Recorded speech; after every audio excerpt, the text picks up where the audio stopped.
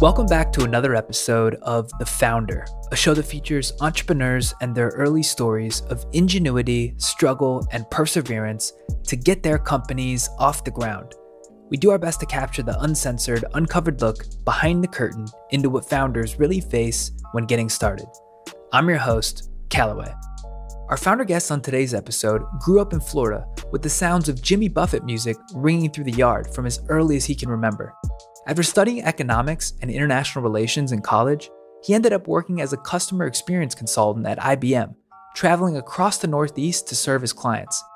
One day, after wearing his dad's vintage Hawaiian shirt for the millionth weekend in a row, he wondered why no one had modernized it for the current day consumer. He realized that as social media began to grow in popularity and people were taking more and more pictures on the weekends, guys couldn't get away with having the same old shirt in every photo. When he saw that tropical and floral prints started to regain popularity, he knew that his calling was to reimagine island wear for the modern consumer. That's when he went all in to start Kenny Flowers. Today at Kenny Flowers, this founder and his team are on a mission to help you embrace that feeling of vacation each and every day. What started out as a floral printed short sleeve button down shirt has quickly turned into a full line of his and hers modern resort wear. Their product line ranges from Hawaiian shirts and swim trunks for guys to women's swimsuits and cover ups, and even matching couple sets.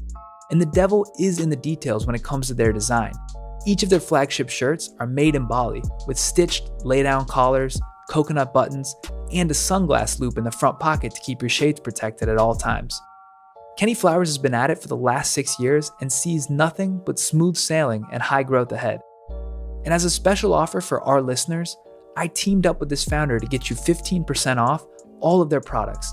That's shirts, bathing suits, and even matching couple sets.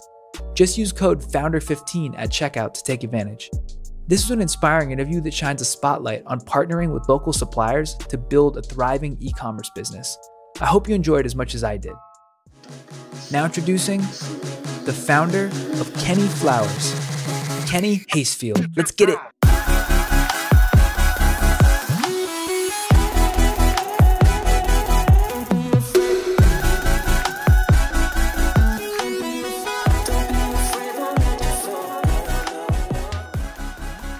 Kenny, welcome to the show. Thanks so much for coming on. It's great to be here, Kallaway. Thanks for having me. Yeah, of course. Looking forward to it today. So, you know, what I like to do to start out the show, before we dive into the origin story and, and the different parts of the business, could you just start with a, a snapshot and kind of give the audience, for those who may not have heard of Kenny Flowers before, what the company looks like today? You know, what's the mission vision of the company? What are the products you sell and, and how big are you today? Absolutely. Um, yeah. So, I mean, Kenny Flowers is let's see, we've been in business five, six years now. Doesn't feel like it. Um, you know, it still feels like the humble beginnings, and we've been growing at a, a pretty quick pace year over year. So right now, we are, um, you know, a fully remote company. We have um, a couple employees, few contractors, and essentially what we do is we're we're all about embracing that feeling of vacation every day. So for us, it's it's not necessarily about where you are, but just like how you're feeling and hoping that you know what we can do for our customers through our products is you know bring a little joy to their day help them set the tone for the type of day that um, that they want to have. We always say that when you put a kenny flower shirt on you're basically making the decision to have a better day. Um, so i mean we've you know it started out with just a hawaiian shirt that you know i used to always wear. It was a hand me down from my dad. Loved wearing that thing wore it way too much and it inspired me to go out and try to make a more modern version of that um, something that was a little bit more uh, stylish not as baggy and you know fun unique patterns that you couldn't really find at any of the big box retailers. Um, so that's how we started and since then it's been a wild journey. We've morphed into so much more than just shirts. We're currently um, what i'd consider like a modern resort wear brand. My fiance has helped really build out the women's side of the business um, so not only do we offer Hawaiian shirts, um, swim trunks for men, but we also have women's swimwear, beach cover ups, etc. So everyone can be a part of the party. Yeah, the full kind of tropical lifestyle brand. Yes, exactly. And I'd love to take a step back, rewind the clock, and just hear about your background. You know, as fast or as slow as you'd like, take us through your life and, and kind of journey to get here. I think the story that I saw online and I've seen a couple videos, right? You quit your job, moved to Bali, and that's how this got started. And I think a lot of people like evangelize that life. So it'd be great to hear how it went down. Yeah, I mean, it started out as a dream, and then I did what I could to make that a reality. Um, but to take a few steps back, I mean, I was I was born in Florida with Jimmy Buffett music, you know, playing in the backyard, and um, moved to Colorado, got into ice hockey, all the opposite of tropical island types of activities, and um, went, went to college, majored in economics, international relations, which ironically I think I did learn a lot from and use today in my uh, in my role with Kenny Flowers. And then um, after that, I was a consultant at IBM. So I was, you know, working a professional consulting job in Boston, New York area, often living out of a suitcase, working with clients across, um, you know, banking, tech, retail industries, and doing what I could as a um, customer experience consultant to help them better understand their customers and really just create experiences that um, kept them loyal to the brand. Which you know, I actually really loved that work. I just knew there was a way to apply it to something I was a little bit more passionate about than uh, than banking necessarily. So for me, it was living a fun post grad life, a few years in the Northeast, and out of nowhere, this idea came about. And the second, you know, I'm happy to dive in more to that story, but um, the second the idea came about, I knew it was my calling, and all of a sudden, all the the comforts of a you know professional consulting job and being in a city with a bunch of my friends um, quickly went out of the window. I knew this was a chance I had to take. Yeah, I'd love to double click on that. I think a lot of people, and I'm sure you have a bunch of friends, I have a bunch of friends that like always think of these ideas and and to be fair, like they don't know what first couple steps to take. And that that first three to six months is critical to try to get something off the ground. So take us through that journey and, and kind of the twists and turns that it took. Absolutely. So once I realized that Kenny Flowers was really my my calling and that if there was a guy to go out in the world and figure out how to make a better Hawaiian shirt, that was me. When I knew that, I knew I could go confidently into it. And it was a huge risk at the time. You know, Hawaiian shirts were slowly starting to creep onto the scene, but there weren't really, it wasn't really back that way. But what I noticed in this overall market and my personal needs as a consumer was that all of a sudden everyone was on Snapchat, on Instagram. And suddenly, as a guy, you couldn't really get away with wearing the same shirt every weekend like you used to. Um, all of a sudden your you know your Instagram feed would just be three photos in a row over the span of a month wearing the same shirt and like that just I, I was realizing that didn't fly and I would always wear that go-to Hawaiian from my dad whether I was in the city out in the Hamptons on a boat whatever the occasion was that was what I felt best in. So when I got started I knew you know the idea came about and it seemed crazy. It was kind of like okay I could I could potentially do this it became my calling. And then what I started to do to like get myself fully in the mentality of this is my next step is when I was asked that simple question, um, you know, oh, what do you do for work? I started saying, I'm actually about to quit my job and go move to Bali to make some better, more modern, like island woven shirts. And that was the mentality shift that that I needed. I, you know, the feedback was very positive. Sometimes it was just a laugh like you're crazy. Um, other times it was, you know, sign me up for whenever you launch these things. And it gave me the the courage and confidence that I needed to really just move halfway around the world with no background in fashion design, um, production, international business, etc.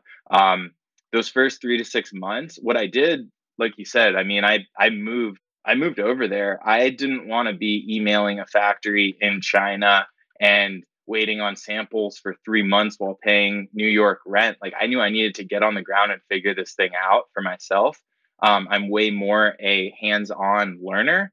So for me, it was it was never a choice of like would I start as a side hustle? Would I do this full time? I literally booked a one-way ticket over there and got on the ground. Went to hundreds of you know fabric shops, scouring through all sorts of uh, old textiles and some of the like initial prints for our shirts you know, found factories on the ground, just started my Shopify store from a remote location and found out that I could pretty much operate an online business from wherever I was in the world.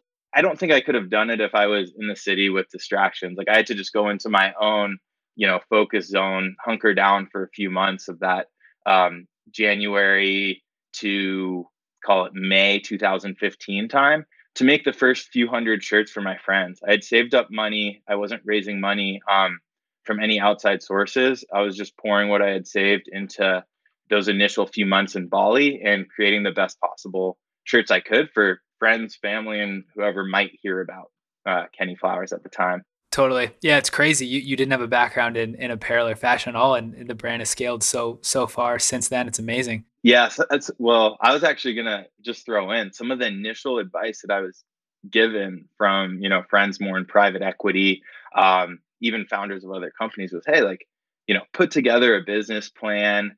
Um, you should probably find yourself a fashion designer to partner with on all of this since you have no background in it. And you know, all of a sudden it was a New York minute, and I was on the way to Bali without either of those things. So I was sort of forced to focus on the ground and figure it out that way, which I think in the end worked out best. Yeah. I feel like the and we've had a couple founders on say this like the business plan idea is is really old school and outdated. I feel like you, you spend all this time on a business plan. By the time you're done, the numbers and the assumptions have already changed, like have already updated, new things have happened. Absolutely. Yeah, I completely relate to that. I mean, I don't think focusing on a business plan is the best first play. Um, I do think there is a place for business plans down the road. Like even now, I like to have a little bit of an idea of okay, what am I doing? What does it look like in a year, in three years, five years? Because um, otherwise, you you can't end up spinning in cycles. Totally. I feel like it's it's never been easier to start a D2C company, of course, because of Shopify and, and especially in apparel, it feels like they're popping up like all the time. And so I imagine differentiation and building like sustained customer loyalty those are some of the critical things that you focus on all the time because because that's the only way to stand out across all the Instagram ads that you see on the feed. Right, so how do you, right. how do you think about it for the Kenny Flowers brand, right? What are those like core tenants that you've anchored to that have worked so far? Yeah, I mean, the first couple years I was just I was so focused on creating the best product I could and letting the brand resonate how it would resonate with my first customers and on.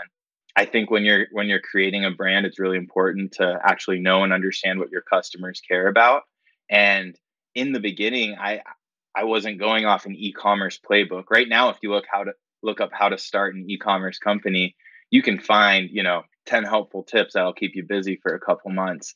Back then, you know, I I knew Shopify was the right call, um, the base of the operation, and but but past there, I really wasn't into paid advertising at the time. Now that I have grown the business for a few years and gotten into um, all the digital marketing you know strategies and and things in place i've definitely learned a few things. And if you, if you want i'm happy to just kind of talk through some of the the basics. Yeah that'd be great.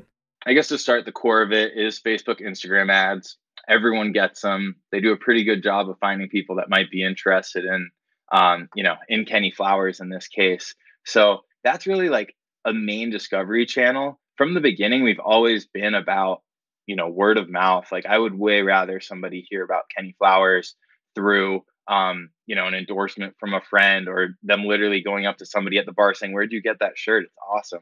So that's really what built our foundation. And we got to a point where we decided, hey, Facebook ads can help us reach a lot more people than we're reaching right now and, and really help us like establish a base of customers that can be the first people to know about it um, and build out from there. So i think it's really important um, if you're you know if you're just starting facebook ads can be intimidating. They can be really expensive if you don't do them the right way. But all, all i can like really offer for someone getting started is make a first step which to me is setting up just some retargeting. So if somebody's expressed interest in your business or your product before, however they ended up there, that you'll be able to put it in front of them again and remind them because we're hey, we're all busy. Um, even you know, even on lockdown right now, but everyone's up to everything. They have you know shorter attention spans than ever, and sometimes they they are interested in what you have. They just aren't ready to make a, a purchase at that time. So making sure you're able to do that, that you can collect emails so you can stay in touch with them, let them know when you have good promotions going, new product launches that that they might be able to be like the first to you know hop in and, and get. And i think those are really to me the cores. There's a thousand different ways you can grow a business. You could go a press angle. You can do google ads. You could go pinterest route snapchat tiktok. It goes on and on but it's really about finding something that works for you until you can build up a solid enough base to uh, you know to, to have that and establish and have room to experiment more. Totally. When you look back at your assumptions of e-commerce and D2C coming into it, and then you're like five, six years deep, and I'm sure a lot of those assumptions have either been validated or refuted. What are, what are some of those things you you thought coming in that were either going to be challenges or easy, and then turned out to be the opposite? In the beginning, I thought I had to create the most unique experience possible for Kenny Flowers. So our original website was literally like you would just flip side to side through shirts as if it was a closet. And as cool as that was for people that were willing to put in the, you know, time and interest in the beginning, it was against consumer behavior and how they understand shopping. So for us, once we were trying to reach more people, we found it extremely important to know which things you don't have to recreate. Um, there's so many great apps out there that can help you do things like collect reviews. There's, you know, apps that help you filter a collection so you can find the exact type of product or size that you want. There's some things that are so in place that you should totally take advantage of and use your product and your branding and your language to be the unique differentiators. Uh, versus trying to teach a customer a different way of shopping per se. Yeah, it's it's it's a good point. I feel like when you're trying to be innovative, you try to like think like how can I reinvent the wheel as much as possible. But in reality, it seems most founders say like you want to build like the most frictionless process that people are used to as possible and let your product quality and value be the differentiation and that's enough. Exactly and i mean when you're when you're shopping around on sites you'll notice that some of your favorite brands you don't notice that they have an extremely simple process of finding what you want and buying it. Um, i've noticed that a lot on the men's side of things. As we've gone into women's um, as my fiance showed me some of her like you know favorite brands and what their sites are like it is insane. Like I think guys just have such a um, lower like attention span in general when they're shopping that has to be like perfectly laid out for you. Well, women love the shopping experience and they want to, you know, go through some chaos to to find the goods. When you think about the that first couple hundred people, likely friends and family that were trying out the product, I think that process and that iteration cycle is so fascinating. What are some of the points of feedback or like additional little tweaks or things based on your first couple runs that people gave you that ultimately you know iterated the product to where it is today? Yeah absolutely. I mean i i put a lot of like i said effort into that initial run. So really i was collecting ideas and feedback from those first customers before i even created a shirt. Um, i was asking my best guy friends even some of my best girlfriends what like you know the guy hey what would you want in a Hawaiian shirt? When do you want to be wearing one? Um, you know, what are like what type of designs do you want? But then the girl size, like, how do you want it to fit? How would you find a guy wearing a shirt attractive? Like, oh, we want um, you know, the sleeves to be shorter so you can see a little bicep is like, you know, something that was in the um, the initial feedback. So I really took all of that into effect in the beginning before even creating a product. So then it was more fine tuning once it was out there one of the main pieces of feedback that I got at first was very much that like dude this is an expensive Hawaiian shirt. And at the you know we're basically our shirts are 79 to 95 dollars which was actually as fair as possible given I was creating this for my friends. I wasn't trying to rip off my best buddies on a shirt um, by any means. But then once they once they got them and they felt them they were like okay these are very soft these are well created. This is literally what I was talking about in my feedback. It's perfect. Like, don't change a thing. So we, we we've kept a lot of the same details in our shirts, like coconut buttons, a sunglass loop in the front pocket where you can keep your shades in place, um, even kind of like stitched collars to keep them from flopping around too much. Um, a lot of those initial, you know, pieces to the the masterpiece all, all came into play then and and then it's a continuous cycle too with customers. Like for me i wanted to make sure that i was asking them what they wanted next. Um, right when i launched the shirts the questions started coming from um, from the girls like hey will you be creating hawaiian shirts for girls? Will you be creating items for girls? And at the time the shirts were very unisex. Girls would rock them all the time. And now we've just built that out so they have other interests like the kimonos and cover ups too Totally. Yeah, I've got. I mean, you guys sent me a shirt, and and I, I have to say, like the quality is just next level, right? Like you can tell the difference between a twenty dollar Amazon Hawaiian shirt that someone buys and a Kenny Flower shirt. Like you just feel the difference, both like in your hands and like when you wear it. And I think that difference, if people don't know, it's just because they haven't tried the high higher quality, but like that's what they all want. So I, I commend you on the the product. It's great. Wow, thank you. That that means a lot to hear that from you. Um, in the beginning, right when I got to Bali, I'd say about a month into the trip, I was lucky to cross paths with this infamous Hawaiian shirt designer, this guy Amos, and he taught me one thing that one lesson that I really took to heart and use as kind of like a main pillar of the business, which is teach your customers quality. Because um, once they expect things one way, they don't want to hear it from anywhere else, essentially. Right. So once you get used to using like the sunglass loop in the front pocket, it's just it's something that becomes nature. Or once you notice, hey, this company's using coconut buttons instead of plastic, then you're going to notice the plastic buttons on your other shirts more. Um, so all of our details are really on creating like a high quality product for our customers, but also just teaching them along the way. Because, like you said, sometimes people don't have anything else to compare it to or, or aren't sure what to base it off of.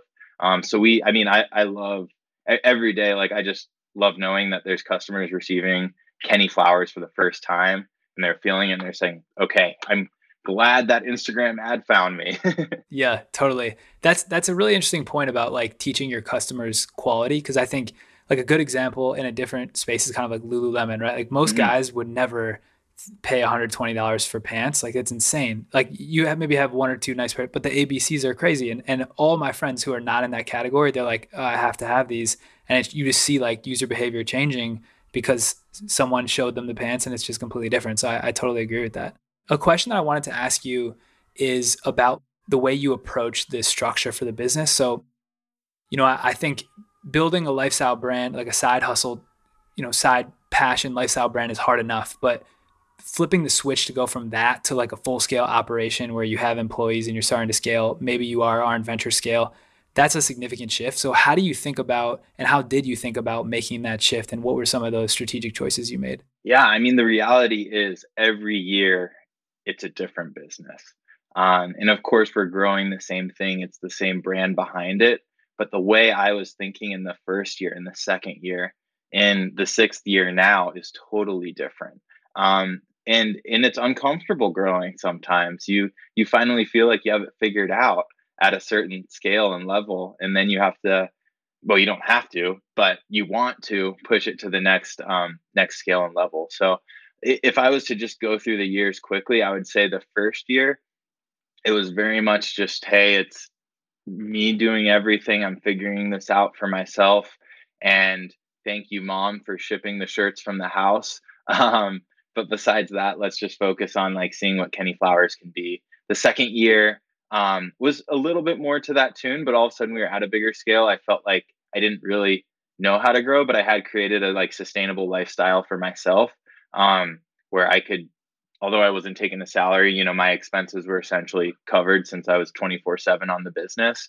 And it was in that third year um, when I met my fiance and started to realize, hey, like I have to do more than just support myself. Like I have to turn up the, you know, the fo not the focus, turn on the cash the, engine. like a, a little bit more so that way. All of a sudden, I'm like, I'm not just providing for myself, but I'm now like thinking about multiple people, um, you know, her, and then down the road, like you know maybe a family etc so I, I, would say that was a big adjustment year for me in, in each year generally i try to build the business i would say three times my goal is like if i can 3x the business that'll put me in a, a good place where we haven't grown too crazily and maybe missed a thing or two but also it's pushing us in a really solid direction um, and kind of to your point like the last couple years those have been way bigger jumps and all of a sudden instead of you know, li- living in Bali and kind of working my own schedule. I have to be there for certain employees, um, have more scheduled meetings every week,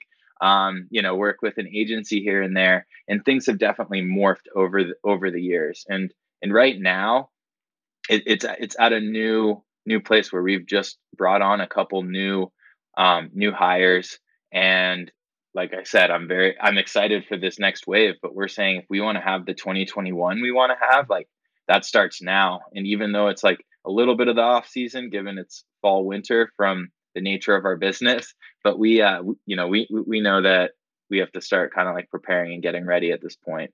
my fiance is literally in the other room trying on 2021 bikini samples, so she's happy. Yeah. A question around in those early days, right? So I feel like people who are really driven and try to start something like this, what I think can be crippling is like putting an earnings target where like I have to make this amount of money to like pay for my expenses. And and you mentioned year two or so you were able to cover that, but how did you approach that in the very early days? Did you set a target? Like did that stress you out or were you kind of like, you know, you had enough saved, you're like, let's just let it flow and see what happens? Yeah, eh, so everyone's in, you know, different circumstances when it comes to to starting a business, whether you've raised money, whether you're starting it with $10. It's all different. For me, I knew that I wouldn't do as well under financial pressure while I was trying to figure out what my business was, um, getting it started. So I made it a case. I would tell my friends if they were like, "Oh, how are things going?" Like financially, I would make it a case to say, "Hey, I have no financial goals this year.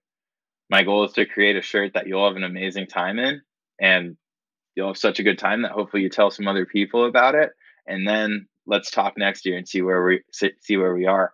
Um, so it wasn't really until I got to that point, and I, I, I did find it helpful to to set financial goals. I've never been a okay three years out it must we must hit every number at this point. But I did find it extremely helpful to kind of go in sprints where it's like, hey, this month, you know, this is our sales goal or just what I'm trying to achieve um, with Kenny Flowers, and let's back into how we get there. But usually, you know, sa- sales aren't as much like direct like hey today i'm going to wake up and have a good sales day. It's usually the work you're putting in months years um, you know ahead of that that get you to a point where where you can have financial success. So i've uh, i you know i'm really proud of what i've been able to do with kenny flowers sustainably growing it um, and you know kind of covering it. I, I, haven't taken a salary to date um, but i also know in this you know next phase that we're going into that that that is important um, to to be progressing the business that way and and setting things up to to grow to its full potential. Totally, yeah, and I think that leads well into the question I was going to ask. And you mentioned,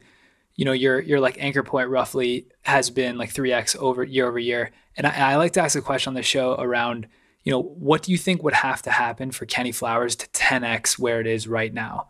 Are there macro factors that have to switch? Is it a matter of discovery? Like, walk us through kind of how you think about that strategically. Yeah, I mean, I, I know there's things that we should be doing day in, day out you know, it's nothing fancy, nothing sexy. It's just like there are operational things and things from the marketing perspective that should be happening every day. And that'll be a good base level to allow for the growth.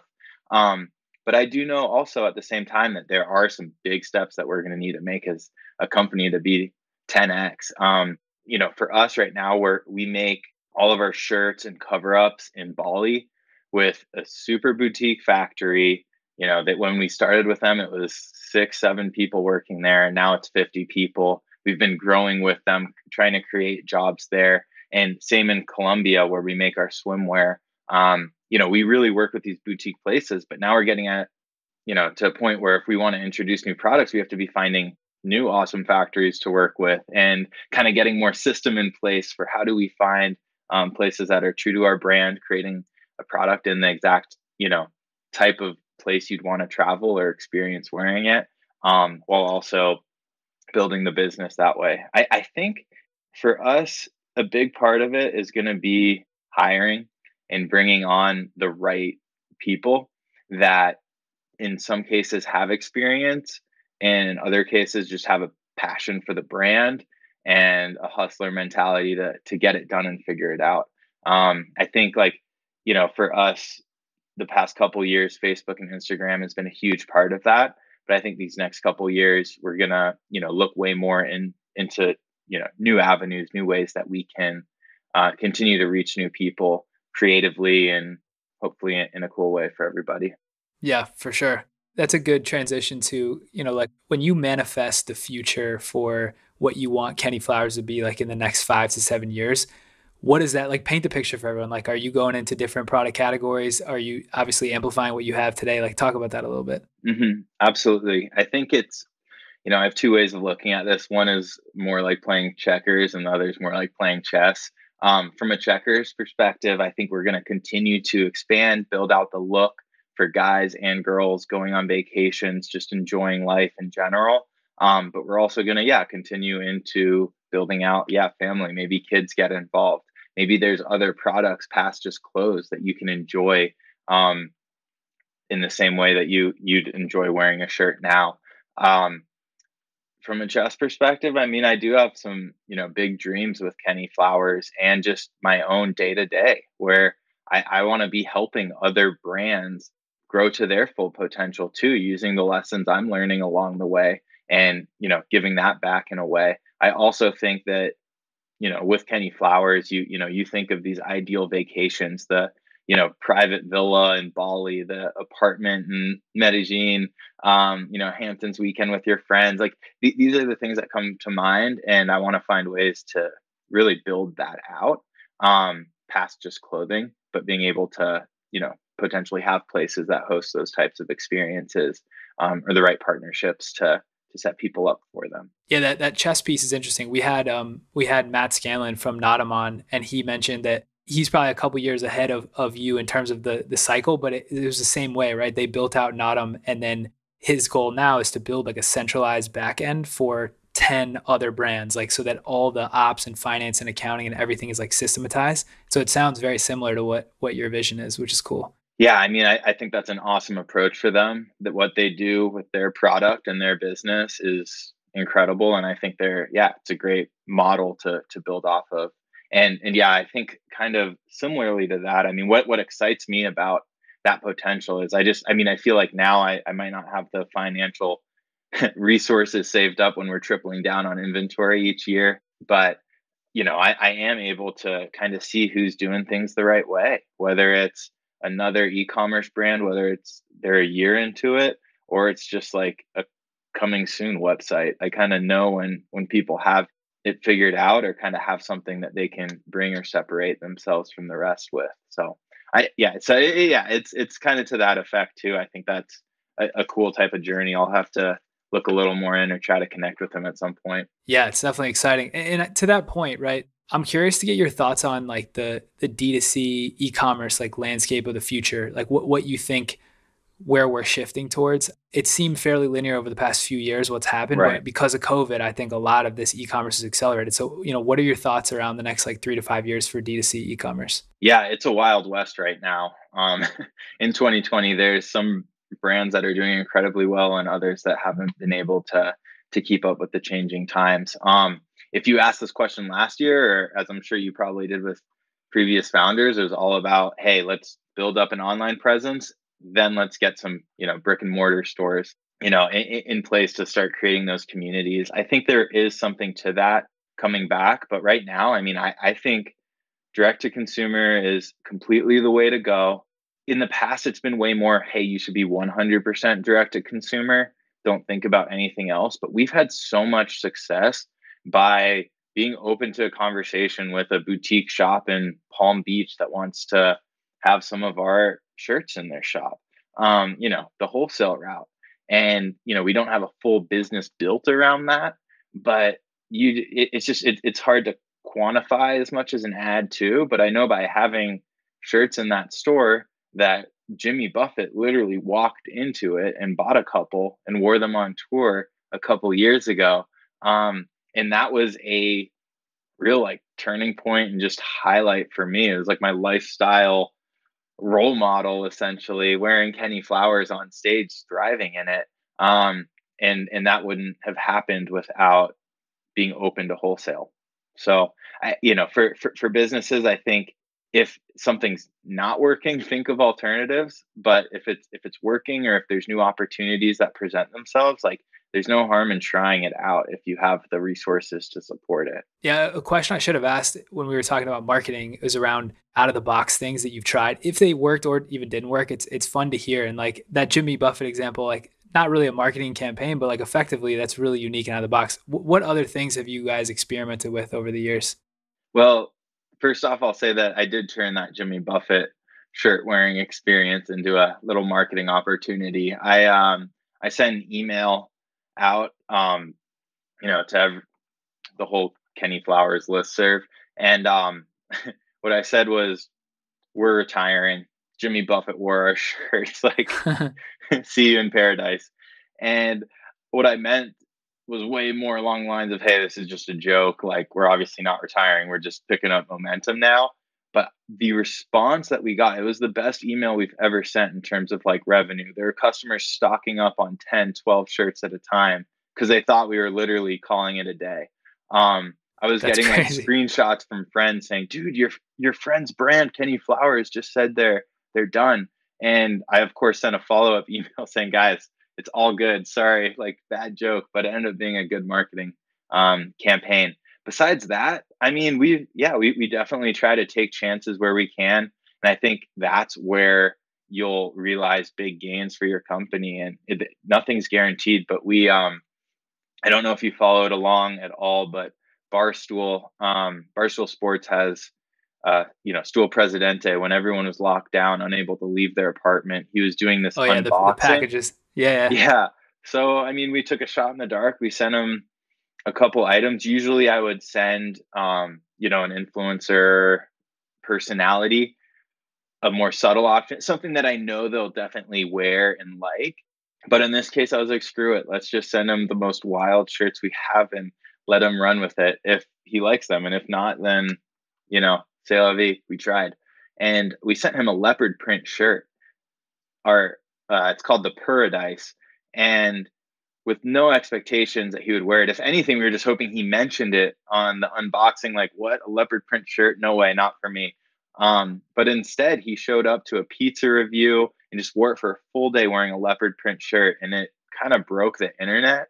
And before we knew it, we sold out of that shirt. Like it was just us getting, but it wasn't just letting that happen. He posted about it. He didn't tag us or anything. That would cost a lot of money. Um, but what he did was he got a reaction. He got a lot of people to check out that post, and everyone was saying, "Oh wow, I didn't realize like leopard print shirts were were, were for me. I got to get one of these. Where do I get them?" And we were just getting involved in the comments. I think we got banned like three or four times by Instagram for commenting too many times but our sales that like those few days were um, were insane for us at the time in the middle of COVID. So you know, it's really about finding the opportunities. Like when things seem down, it just means there's kind of opportunity elsewhere. And you know, we we were in a position going into this year where you know everybody was riding a high from the consumer to the business. Like things were good, people were buying, businesses were growing, and then the bottom fell out. And for us, that meant not only that demand was dropping, but also our customers that were buying our product for their honeymoons, for their vacations, for their music festivals they were going to, you know, they wanted return right away. So like we had this huge just kind of fallout in March and we essentially you know, had to really cut back on our ad spend. People weren't interested in buying. It was more figuring out what the hell is going on in the world. But that that did give us our chance to really like work through some things and kind of reinvent ourselves to a degree, um, which I think is incredibly important. We realized, hey, if shirts aren't clicking right now, what can we do? Our swim factory was shut down in Colombia. Our Bali factory we probably would have had to cut down their order a good amount, which wouldn't have been good for them. Um, so we transitioned to face masks. We made like lifestyle face masks with the same prints that I'm wearing on my shirt right now, just as a way to kind of brighten people's day, do something a little bit more uh, unique than the standard mask. This was like late March, early April, so right before the the rush of everyone getting into it. Um, and that that once again, like from our perspective was sort of creative. It was listening to our customers saying, "Hey, you should make masks," but in my mind, thinking, I don't know if that's like the right tone, or if people will just um, kind of say like that's insensitive. Like who, who knows? It was a very it was a very touchy time with social media and, and just in general for brand communication. However, we launched the masks. We got the word out about them, and it was our first time really getting mentioned in like GQ and CBS News and Esquire. We got picked up by all these places and got all this press exposure that we wouldn't have um, had otherwise if we weren't focusing on that right then or if we were just content with where we were with a Facebook, Instagram strategy. Yeah, it's crazy. You're like, I've been here making these shirts for five years, and it, it takes a, a Hawaiian mask to get me into GQ and all these magazines. Exactly. And now hopefully we have the connections to to keep things going as as things come back to normal. Exactly. Yeah, I was gonna say have you thought about trying to have like strategic partnerships? Like one that just comes off the top of my head is like you guys being the official uh like shirt provider of like Yacht Week or something where like you know the the brands definitely intersect or like being at a festival. I mean, they don't happen right now, but like a pop up at a festival, Coachella or something like that. Have you thought about partnerships like that? Absolutely. I mean, I, I think that's going to be a big part of our strategy in the next few years. When it was just me on the ground trying to make shirts and also trying to like you know run a few ads and figure out a new warehouse situation so my mom didn't break her back like you know during those days it was a little less on the offense if you would um, but now i think we're getting to a position where we can hopefully you know really really get involved where our customers are. Um, so sometimes that might be a group trip for yacht week. Um, other times it might just be honeymooners going to specific resorts and maybe we can you know set something up with that resort um, where if they're wearing kenny flowers they can get a free drink on us. Yeah that's awesome. It's easy for founders to come on here and, and paint like a really rosy picture and, and i think you've been really transparent about you know the ups and downs but tactically for people listening if they're aspiring founders the things that haven't worked are often like more valuable to hear than than all the things that have worked so when you reflect over the past few years what are some of the things that that haven't worked across the entire business that you would share? Yeah, I mean, I, I think it's really important to know where you are as a business and what makes sense for you. So, in one case, like if you think about warehousing, like I said, I was lucky that I had a supportive mom that was willing to ship a few packages out a day in the beginning. Um, but then being able to switch to a warehouse at the right time, I think being able to be tuned in and just know what time you need to completely shift or change your business isn't incredibly important. Um, I'd say there's uh, like one like one thing that I I think we kind of missed out on from the beginning was just having like customer reviews on our site. Um, we're just now in the process of getting those on, which is way behind every brand. We just didn't at the time a few years ago when they reached out, I was just shocked at how expensive it was to be able to have that system on your site. Um, so I think uh, I think that for me the main uh, I think like challenge that we've had is keeping up with our best selling inventory during our high seasons. Um, which when you're bootstrapping a company is hard to do, but it's a huge bummer when you're sold out of your top five shirts, your best couple swim trunks in June. If I was offering advice, just like really knowing how to double down on your best sellers and allow other products to, you know, take not a backseat, but less important. So it's kind of like a lot of companies figure this out within their operations. But for me, it's like to a degree, it's just like knowing when to really, really, really bet on yourself when a design works. And you know over half our designs are like pure limited edition like when they're sold out they're sold out but there's some like hero products that we have that um you know that we've had around for a year two years three years because we know anyone new discovering kenny flowers might be interested in it so i think really like the biggest challenge that we've run into is is that um i think another challenge less that i've run into it's more like an alternative world it's like, are you going into this solo or do you need someone along for the ride?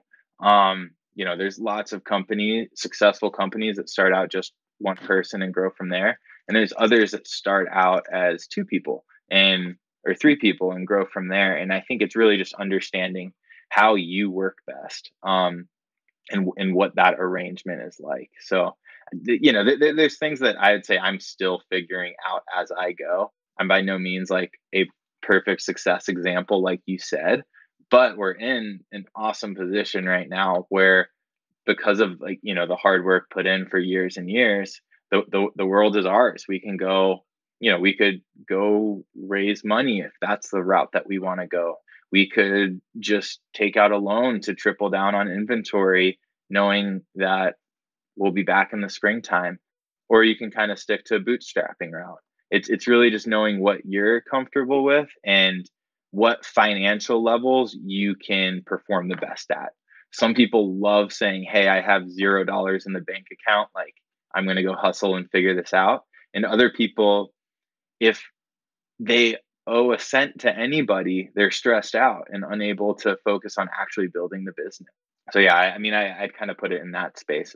Yeah, those those are great things, and I, I think, like you mentioned, coming from a position of power, a position of strength for the business, sounds like Kenny Flowers is, and and not every company can say that. Shifting to some of these other questions, one that I love to ask is around hiring, and it sounds like you're, you know, you had you worked with a few people early on, and you're starting to really ramp up the team. So this will be a great question for you. I think hiring is one of the most important things, if not the most important thing you can do. And I think getting superstars on your team is critical for having the, the ship kind of grow grow beyond just yourself.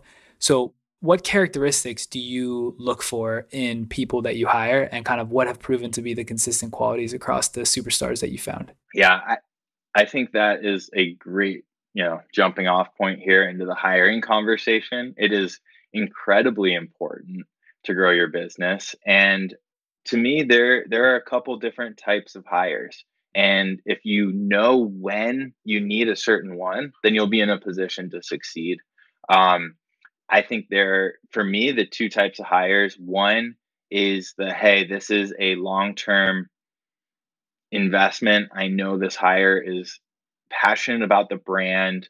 There's so much room for them to grow within the company. And I can't visualize a Kenny Flowers in five, ten years without them here. And then there's other hires that have a specific skill set, can be an incredible asset to the team, can learn and, you know, get fueled by the passion that other hires on your team have for Kenny Flowers, and they can do something that you haven't been able to do before. Um, and to me, I, you know, I've had some, you know, learning lessons with hiring I feel really excited about the new people we've brought on. They come with like a lot of experience in the places that we need, whether it's like sales forecasting, inventory planning, or even just like bringing PR more in house and making sure that it is intertwined with our other marketing channels. Um, so I, you know, I, it's really knowing what you're going for. I did have a um, scenario two years ago where my first hire ever, don't regret it at all. But the week of Black Friday, she gave her two weeks' notice. And the reason was because she didn't like working remote as much, which was something that unfortunately I can't change overnight and have a 10 person office. And as much as she thought she would. And to me, it was it was a, it was a bummer because I it was someone that at the time I thought of hiring in every employee is going to be a lifelong Kenny Flowers fan and part of the company every day. And I, it's just as important, I think, to realize that some people might not be that way. I remember when I was interviewing at IBM, everyone was talking to me like, "Oh, you're going to be a great lifelong IBMer," and they're in this old mindset. And the reality is like, I'm doing this for a couple years, and then I'm going to see what's next for me. And I think a lot of people think that way. So it's just knowing like how people stand there. And you know, I don't regret hiring that person at all. She helped bring an operation side to the business that was non existent at the time. But I think now my biggest lesson I can offer is just understand and figure out the candidates beforehand. And you, you can tell passion for your brand right away. You can tell skill set through a conversation, usually, especially through a written test.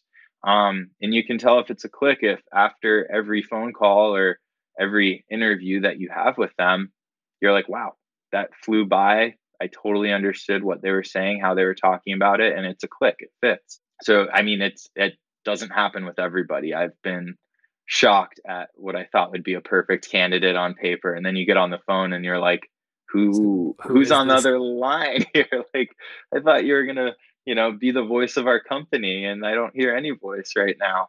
Um, so it yeah, it really comes down to knowing what you're hiring for and understanding how how that works. And i think it's a balance of the two to to build the right way. But if you can find rock stars that can take over parts of the business and take care of the areas that you weren't as comfortable in um, or just more of a weakness then that's that's going to just catapult you forward. Totally another question that in that space is around like building culture and I, especially remote I, have worked in a remote capacity for the last few years and, and have had to build a team and it's really difficult to obviously build culture remote what are some of the things that you've tried to do over time to, to kind of enforce that culture and, and build it the right way? For sure. I mean, when it was just a, a couple of us, it was very easy to just be on the phone or not. But now, with a few people involved, we really make a case to have a few more meetings through Zoom. Um, you know, see the people behind the screens. Um, but also, it's it's it's yeah, it's about making sure people are in the know on what's going on with the company. It's so easy for things to happen and not to share it with everybody. So we do have monthly meetings. Um, we kind of figure out, talk about what the three most important things are for the next month for each person, um, just so everyone's aware of kind of where the company is going, even if they're not involved on a specific project. And then we celebrate when those things happen afterwards. And um, sometimes, you know, it's unfortunately right now more Zoom happy hour, but we have a couple people in New York, um, and they, you know, they just got together for a KF sponsored happy hour after going by a, a, clothing drive that we've been supporting in Brooklyn.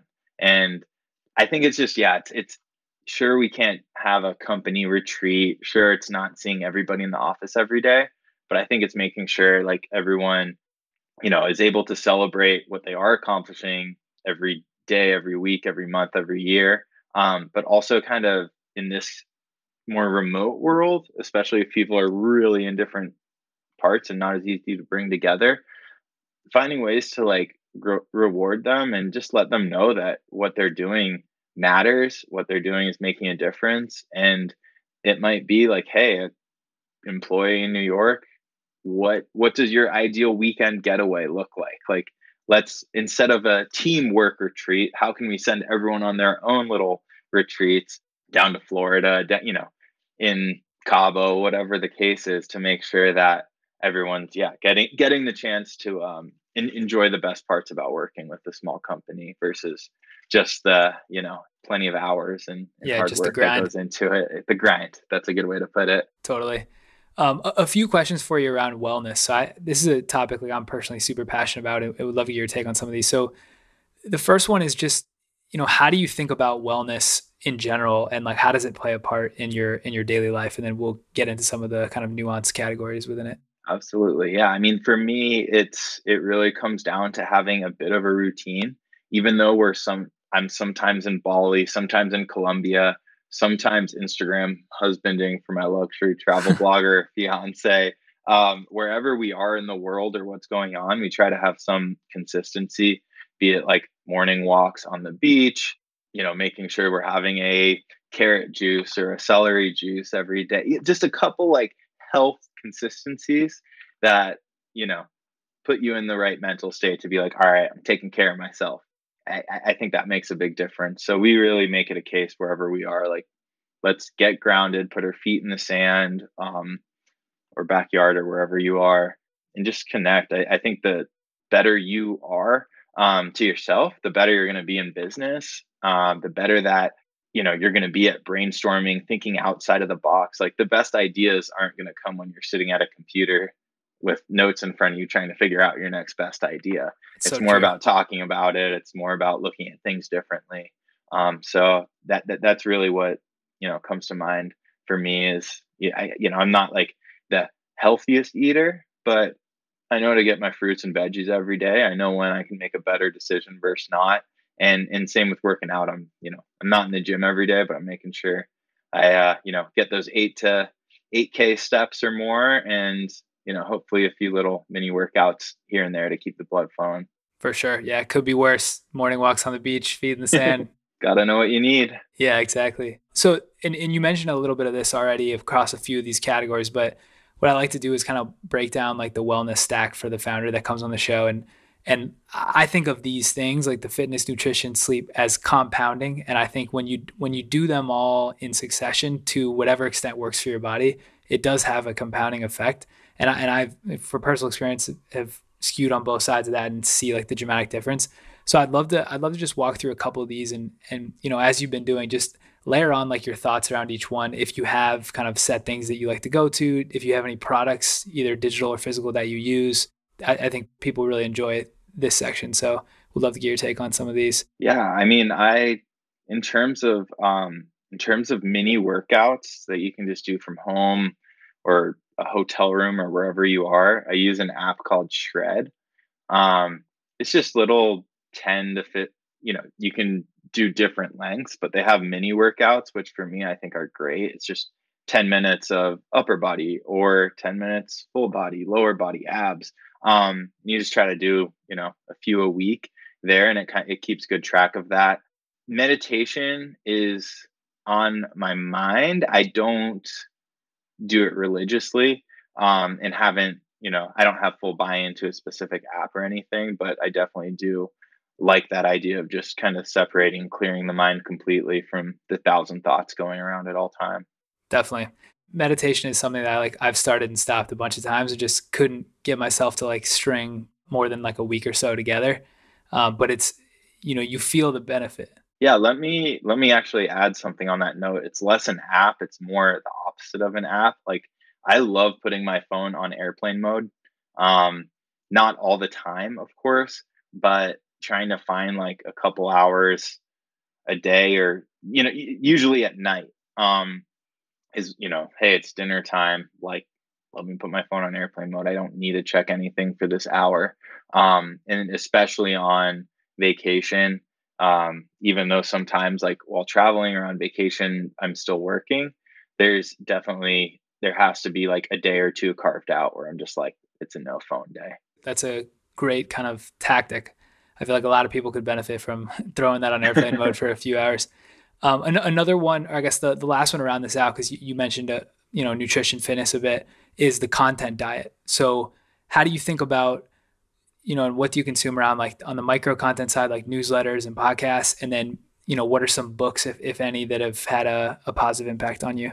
Yeah. I mean, I, I definitely think of, now that you mentioned content, like my my take on work life balance, which is actually like work life fluff balance, if you will, with the fluff being like just the distracting, you know, news, Instagram story, binge watching, you know, those types of activities and basically finding ways to keep that down to a minimum and upping more of like the life. Like what, what makes you feel good? What's like a good escape from work? What makes you feel like you're living? And sometimes I, like I, I, like to read books. I'm reading the longest book of all time right now, Shantaram, if you've ever heard of it. Okay, no, I haven't. Um, it's like a 900 page book, but it's uh, it's incredible. It's about a you know a guy that escaped jail, moved to India, and just got involved in the weeds of uh, Bombay. Um, from everything from helping out in the slums to getting involved with mafias and questioning life and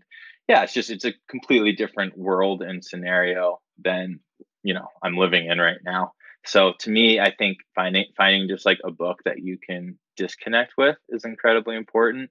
And also, I mean, I'm not a- afraid to admit it. Like I watch Netflix types of shows, like with dinner afterwards for, you know, usually just an hour or two a night. But I do think it really helps like separate my mind from, um, you know, from fully work mode. There's always more to be done. The to do list never ends type of mentality to, okay, it was a very productive day. Things moved in the right direction. And now it's time to relax, sleep well. So tomorrow can be productive. That's a really good point that I feel like goes understated a lot is the, especially when you're working for yourself, the to-do, you can always throw more on the to do list. Like you, you, you have like one or two items, you cross it off, and then you start looking like what are the next you really do need, especially in these COVID times, to be able to separate like the go from the from the chill, because that helps your your next go the next day uh, improve. Yeah, absolutely. And I mean, I I love trying to stay up on not like the news for hours a day, but I definitely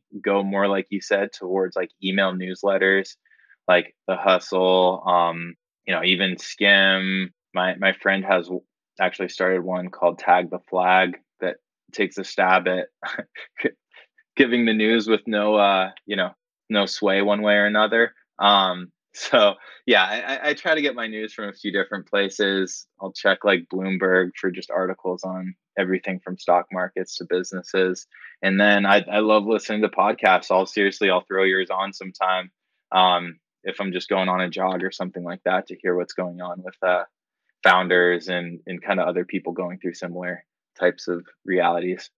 Awesome. Yeah, appreciate the appreciate the rep in the show. Absolutely. Founders and entrepreneurs are some of the best people to ask about other industries outside of what they're focused on just because you're exposed to so many different business models and read all the time. So if, if you were to put either your consumer hat on or potentially like an angel investor hat, what are some other trends or areas that excite you for the next three to five years? Yeah, that's I mean that that's a great question. I think that so there, there's two two places I could take this. One is just sustainability and what you're doing, whether it's a business operation or a specific type of fabric you use. Um, I think that's a huge trend. It's obviously been around for years, and brands are adjusting at different paces. We're even, you know, we're always sourcing new sustainable fabrics to to test to start using in our products. And I think that's just such a trend because the reality is it's not every sustainable fabric is is good. Not like just because a brand says, "Hey, this is recycled polyester," it doesn't mean that the you know that the print on the fabric is gonna last as well. It doesn't mean like you know. So there are a lot of things to kind of weave through there, and I think the brands that have it figured out or are making it a priority to figure it out are the ones that you should be paying attention to. Um, I think that's incredibly important. And then the other big shift that I'm seeing um, very much based off of this year is customers want to hear about the good a business is doing. They want to hear about their charitable donations. They want to hear, um, you know, what they're doing to make the world a better place. And this isn't anything new, but I think it was accelerated a few years um, in terms of when it would kind of come to the f- forefront. When I started Kenny Flowers, my biggest goal was to create a genuine business. I didn't like how there were businesses out there leading with, hey, if you buy X, we donate X. I just felt like those were businesses selling a donation versus fully selling a product that they're 100% behind and they know it's the best out there. Um, so in the beginning, for me, like I did, as inspired as I am by a lot of the companies that do that right, I didn't want Kenny Flowers to go that way. I wanted people to buy the shirt because they loved the shirt, and over time, build up the trust with customers that we're doing things the right way behind the scenes. Like way before Kenny Flowers started, I've been working with um, a school in Bali where we actually like I've been raising money through a nonprofit and sending 10 kids a year to college there that wouldn't be able to go otherwise. And I've never felt the need to bring that up or make it like a highlight feature of the company.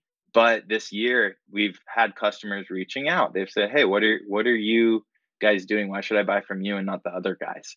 And as much as I don't like it being used as a marketing force, I think it's from a customer perspective really important to make sure that customers, especially during these times, can feel as good as possible and have something to look forward to. And we've relied more on it being a specific print, but in the future, I think it's really about having um, just like a full on feeling and confidence in wearing a company, knowing that by buying from them, you are making a difference around the world in every way.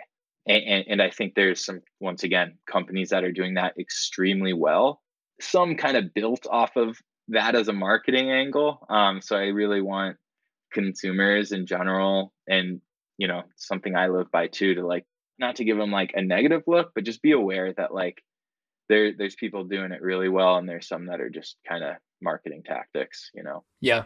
I, I really like your approach towards that though. I think people forget like you can do the right thing and tell no one and like it's still a net benefit for the world. Yeah. So so I mean I, I think that's it's the big the big lesson I think from this year is like don't necessarily judge a book by its cover, kind of cliche.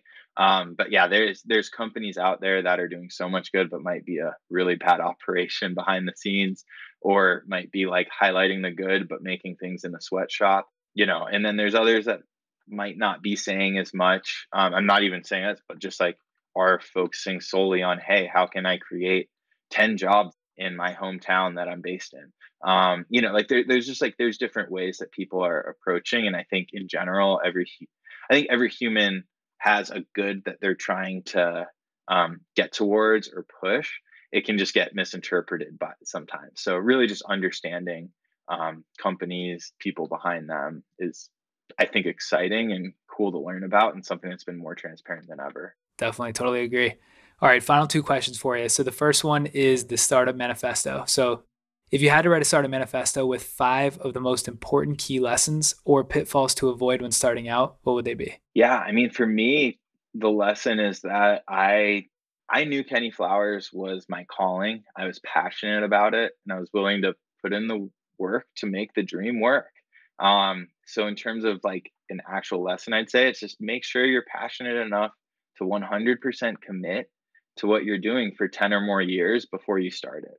Because a lot of people think, hey, I have this great idea. Within a year, it's going to be off the charts and I can sell it in two years. And it's just not the right mentality, I don't think. Um, I think it's way better to know, hey, I'm going to, like, I will make this my life, basically. That's how much I care about it. And then see where things can go. So that's my first piece. The second is, yeah, it's something I already hit on. Like, don't wait for the perfect business plan to be ready. It's more important that you're just getting your hands in the weeds and figuring it out. Um, that'll help define the business model and in ways that'll help you create a better business because you don't have any upfront restrictions or guidelines that you're sticking to while you're trying to figure it out. Um, let's see, the third, for me, the first couple years, like I said, I was so focused on creating an amazing product and building a brand. And I think that's like exactly what you should be focusing on those first couple years. There's always kind of like fine tuning that you can do from like a business perspective. Um, you know, there's always like cost cutting, or as you scale, maybe I can bring the cost of shipping down a dollar. Great. Shouldn't be your concern the first two years. Just create an excellent experience um, from the product to the brand make sure your customers are happy, and then figure out where you can fine tune the business without sacrificing any quality. Um, another thing, like for me, that was really, really helpful as I was growing and needing to offload some of the stuff that I was used to being in every day is just make a list of what you love doing, like the tasks involved in running your business, and then also make a list of what you don't like and kind of what you can't stand doing and that's what you should be hiring to fill. Um, you know if you don't like customer support emails find someone that loves responding to customers all day. If you uh, if you don't like designing shirts i i love it but i'm just saying if you don't like designing then find an awesome designer that you know that you align with and can take a lot of that off of your back so that's that would be four and then five, this is something I didn't haven't done as you know great of a job as I'd like to have, but I would say document whatever you can from the process. Like even if it's like extra work for you, it's just to me it's it's interesting hearing like how people went about starting their businesses, seeing the pictures, the videos of oh this is me in the factory, like literally figuring out which three shirts I'm going to put in this collection. Um, that type of stuff. I mean, I think it's interesting to people, and it it might be what makes the difference and separates you from the competition and the rest of the market um, in your customers' eyes. So, yeah, I would say number five is document what you can. Yeah, that's a great list, and that that last point's so true. I, feel, I I wish like some of these founders that we all like look up to had documented their process the whole way. Like just that dialogue would be so interesting yeah, I mean, I'll, I'll, just quickly add off of that. Like, it is extra work to document things. It, it's it's a different mentality. So what I would say is like there there's some people that'll tell you, put your head down, don't worry about documenting, get it done, and in ten years you can tell the stories. And then the other approach is document along the way, get others involved. And I'm starting to lean more, especially in this day and age, that people want the transparency. They love seeing behind the scenes. Like when I when I take um, you know, when I go to the factory when I'm in Bali, I'll like introduce them to the people that make the shirts. I'll like show the actual cutting, take them through the process, and it's it's really people love interesting that. to people that have never seen it. And if I if I have a friend visiting Bali, I'll take them to the factory and show them the same thing. It's just it's cool and exciting, and I, I wish there was more of that out there in other businesses, so I could you know see, learn, get intrigued by stuff as well. Yeah, that's awesome. And then the the second question that we ask everyone is a nomination. So this has been a phenomenal way for the show to grow. It's your turn to nominate another founder that's either a friend, colleague, or mentor of yours that you'd like to see on the show in the future. Absolutely. Um, I would go with my friend slash colleague, this guy named um, Mapate Diop.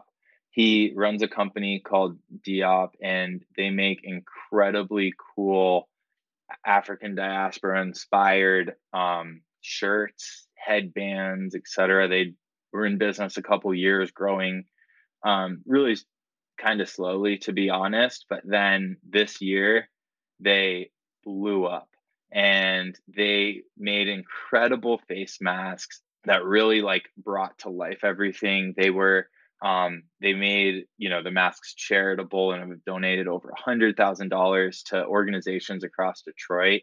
It, it's just everything they do is just so pure and awesome. It's i think just two guys there right now um, the co-founders but it, it's uh, yeah it's just uh you know a company that i really respect and admire especially this year seeing how they've just gone off and held on to the rocket ship. So if you can if you can grab him for an hour i think he'd be a really fun one to talk to.